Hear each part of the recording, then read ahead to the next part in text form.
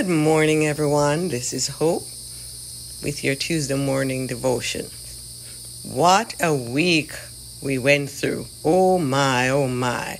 I'm so happy to have been able to join in some of the presentations at our 108th assembly.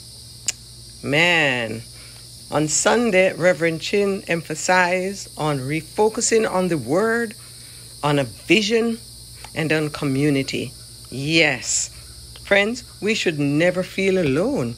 We need to help each other at all costs. Let us always give thanks to our Almighty, whether we are the receivers or the givers. So this morning I'll briefly touch on how the Bible encourages us to give thanks. In many chapters of the Bible, it tells us that even in good or hard times, we are to give thanks. We are to give thanks even in the in between, and that we are to be continually thankful in all circumstances. Let me quote some verses to back this up. Philippians 4 4 Rejoice in the Lord always. I will say it again rejoice. Verse 6 Do not be anxious about anything but in every situation, by prayer and petition, with thanksgiving, present your requests to God. Ephesians 5:20 Always giving thanks to God the Father for everything in the name of our Lord Jesus.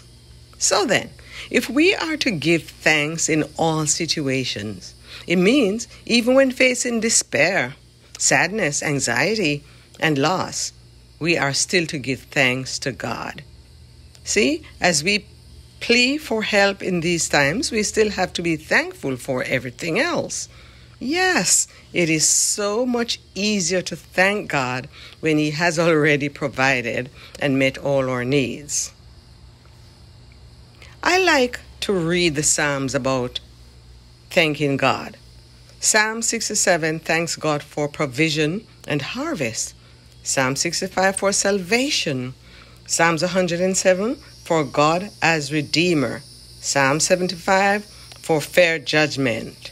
Psalm 124 for deliverance.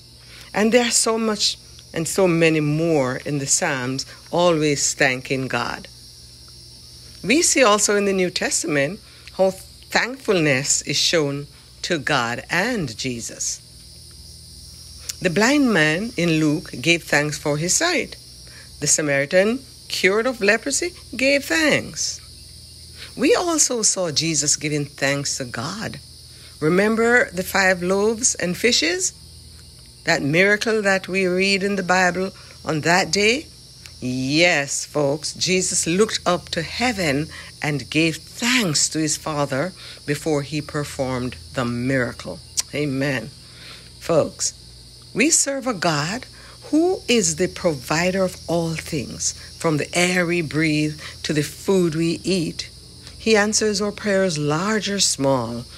Like Paul said in Philippians 4:19, and thy God will meet all your needs according to the riches of his glory in Jesus Christ. That's why we have to give him thanks, folks, and always.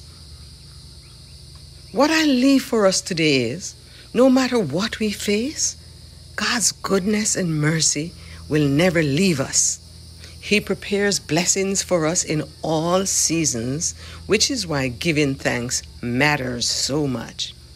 So, right now, let us take a few moments to praise and thank God for all He's done in our lives.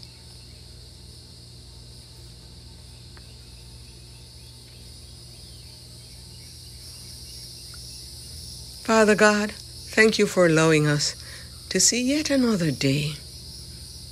God, you're so good, and your steadfast love endures forever. Lord, even when we are in a hard season, we still have reason to thank and worship you. Thank you, Lord. Father, thank you for giving us victory and abundant life in your Son, Jesus Christ, even though at times we don't deserve it. but you love us unconditionally, Lord, and always forgive us.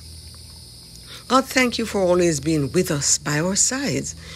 You comfort us and bless us in the presence of our enemies, and for this we give you thanks. Father God, nothing can compare to your you, and no weapon can stand against you. Be glorified through us, Lord.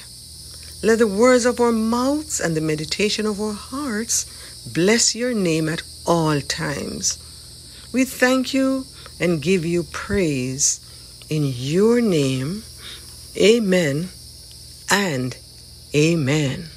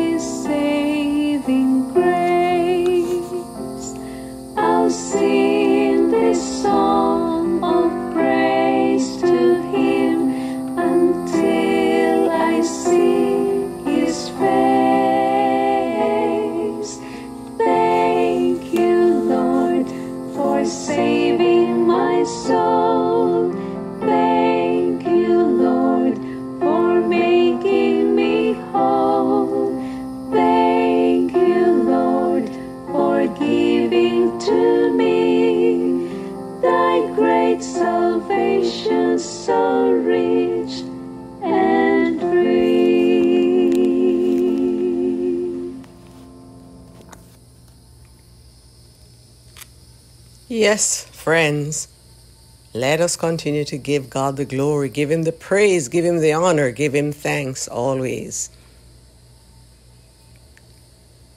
What a mighty God we serve. What a forgiving God we serve. God, we love you. Folks, have a great day, a great week, and we'll meet up again next week. Love you much. Bye.